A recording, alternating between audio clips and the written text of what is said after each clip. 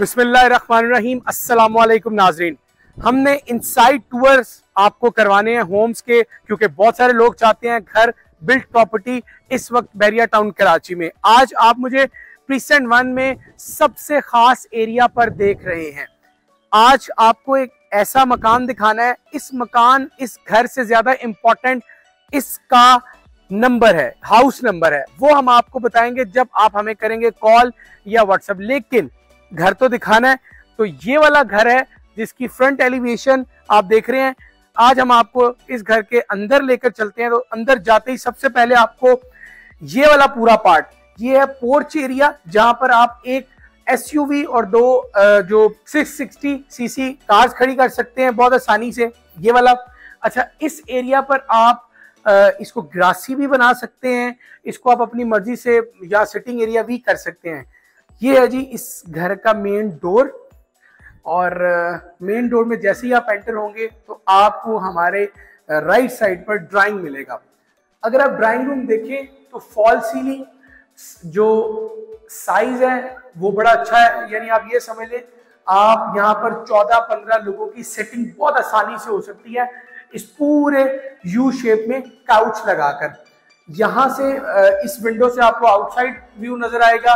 और इस डोर से हम एंटर हुए थे। अब चलते हैं जरा अंदर, क्योंकि अंदर लाउंज जो कि इस पूरे घर का सबसे खुला एरिया मेरे दाएँ जानिब है लिविंग एरिया लाउंज ये बहुत बड़ी स्पेस है। आप जरा स्पेस दिखाइए, यानी यहाँ पर बहुत अच्छे से जो है वो सिटिंग बन सकती है सेंटर टेबल आ सकती है सीनरी लग सकती है। और लाउंज के इस जानब ये है किचन अच्छा किचन की खास बात ये है कि इसको ओपन रखा गया है जिसकी वजह से ये खुला खुला फील हो रहा है।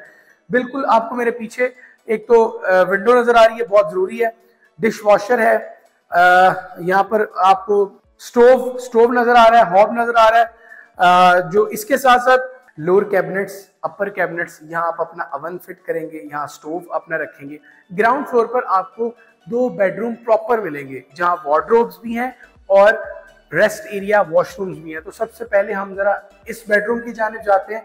ये देखिए जी, ये एक बड़ा शानदार प्रॉपर बेडरूम है, जिसमें विंडो नज़र आती है और फिर इस जानब जहाँ मैं मौजूद हूँ थ्री डोर्स क्लोजेट नज़र आती है। क्लोजेट के बिल्कुल साथ ही ये वाला पार्ट है वॉशरूम का, जहाँ आपको फिटेड कमोड बाथिंग एरिया और वैनिटी नज़र आ रही है।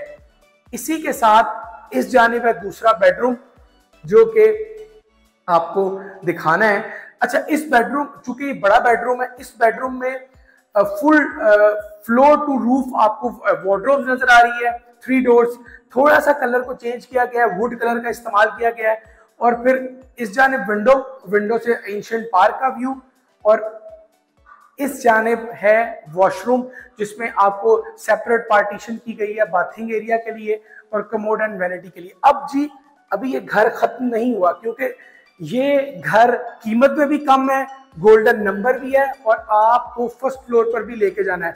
आपको ये घर डबल यूनिट यानी दो फैमिलीज़ के लिए आप ये घर यूज़ करेंगे। नीचे भी एक family proper kitchen drawing dining मिलेगा और ऊपर भी ये सब है। तो ऊपर क्या है? आए जरा चलते हैं।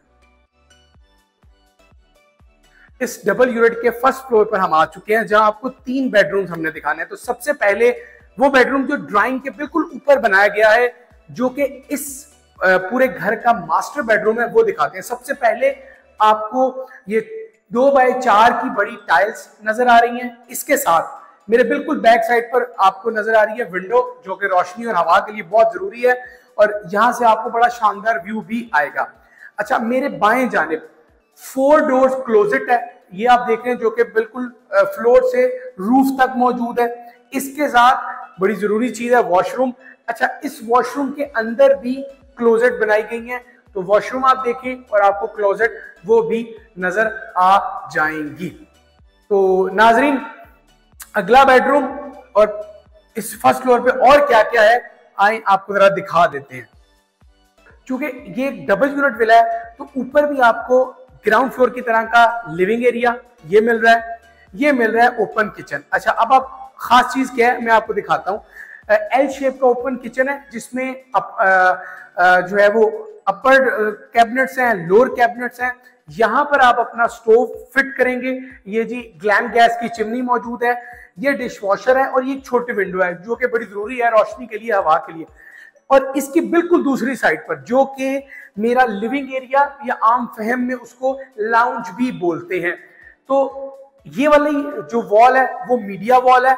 यहाँ आप सिनरी लगा सकते हैं जो भी करना चाहिए अच्छा अब आप, आप चीज़ देखें कि इस एरिया को भी सेपरेटली रोशन और हवा के लिए छोटी सी एक विंडो आपको देखने को मिलती है। दो बेडरूम्स हैं जो कि इस तरफ़ है वो आपको दिखाने हैं। एक मेरे बिल्कुल बैक साइड पर एक मेरे बाएँ जाने।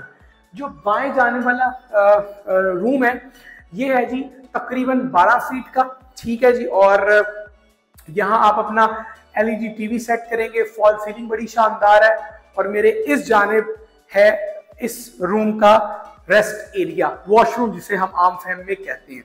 तीसरे बेडरूम की तरफ़ आपको जरा लेकर जा रहे हैं जो कि यकीनन अच्छा है और एक खास बात इस आ, कमरे के विंडो आ, से आपको बैक एरिया भी नज़र आता है और फिर आपको ये भी नज़र आता है कि पीछे एक तो एंशंट पार्क है और इसके साथ दो घरों के दरमियान मैं हमेशा एक बात कहता हूँ कि घर जुड़े नहीं होने चाहिए। तो दो घरों के दरमियान अकॉर्डिंग टू बैरिया लॉ आपको एरिया छोड़ना पड़ता है। और इसके साथ इस रूम में, चूँकि बड़ा रूम है, आपको थ्री डोर्स क्लोजेट नज़र आ रही है और वो बिल्कुल ज़मीन से छत तक मौजूद है। और इस जानब है प्रॉपर वॉशरूम और यकीनन ये एक दो सौ बहत्तर गज का मिला है तो आपको कमरे और वॉशरूम सब बड़े मिलते हैं। अच्छा अब इस घर की कीमत क्या है?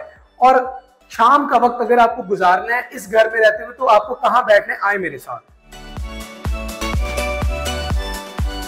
नाजरीन दिस इज़ टेरेस पार्ट है जो कि शाम में और आजकल तो दिन और दोपहर रात में चूँकि कराची का मौसम बड़ा अच्छा है तो आप यहाँ सिटिंग कर सकते हैं। आपको मेरे पीछे नक्शा नज़र आएगा इसका फ्रंट एलिवेशन जिसे कहते हैं।